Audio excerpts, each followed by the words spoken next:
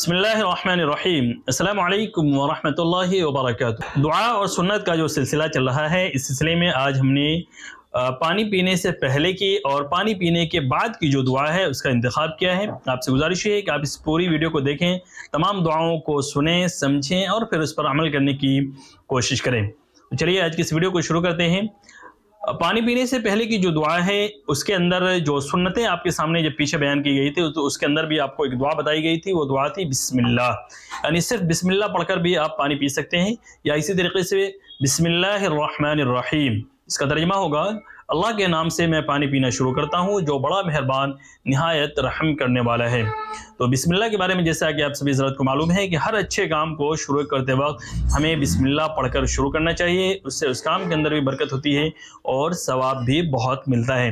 तो पानी पीने की जो दुआ है, वो कोई अलग से दुआ नहीं है, बल्कि वही बिस्मिल्लाह है। या तो आप बिस्मिल्लाह पढ़ सकते हैं या बिस्मिल्लाहिर्रहमानिर्रहीम, पूरी बिस्मिल्लाह जो है वो पढ़ सकते हैं। पानी पीने के बाद की जो दुआ है, वो दो दुआएँ हैं। एक दो दुआ है पानी पीने के बाद की दुआ, अल्हम्दुलिल्लाह। यानी पानी पीने के बाद हमें अल्हम्दुलिल्लाह कहना है, मुख्तसर से दुआ ये है, जिसका तर्जमा होगा, तमाम तारीफ़ें अल्लाह के लिए है। और जो एक लंबी दुआ है, वो दुआ है अलहमदिल्लादी सक़ाना अज़बन फ़ुरातम बिरहमतिही वलम यजअलहु मिलहन उजाजम बिजुनूबिना ये दुआ थोड़ी लंबी है, अगर किसी को याद हो सके तो इस दुआ के भी पढ़ने का अहतमाम करें। इसका तर्जमा है, तमाम तारीफ़ें अल्लाह के लिए हैं जिसने हमें अपनी रहमत से मीठा और खुशगवार पानी पिलाया और इसको हमारे गुनाहों की वजह से नमकीन और बेमज़ा यानी कि खारा नहीं बनाया। तो पानी भी जो है वो अल्लाह तबारक ताली की बहुत बड़ी नियामतों में से एक नियामत है। तो इसलिए इसको पीने के बाद भी हमें अल्लाह का शुक्र अदा करना चाहिए। और अल्लाह ताला के सामने जो अल्लाह ताला ने ये नियामत हमें अदा की है, जब हम उसका शुक्र अदा करेंगे तो अल्लाह तबारक ताली और ज़्यादा हमें देगा।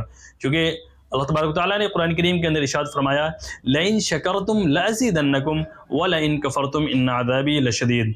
अगर तुम मेरी नियामतों का शुक्र अदा करोगे तो हम उसके अंदर इजाफा कर देंगे, उसको बढ़ा के देंगे। और अगर कोई भी इंसान अल्लाह ताला की नमतों की नाशुक्री करेगा तो यकीन अल्लाह तबारक ताली का अजाब बहुत ज़्यादा सख्त है। इसलिए हम सभी हजरात इन दुआओं के पढ़ने का अहतमाम करें, ताकि अल्लाह की नमतों का जो शुक्र है वो भी अदा हो जाए और हमें ज़्यादा से ज़्यादा सवाब भी मिल जाए।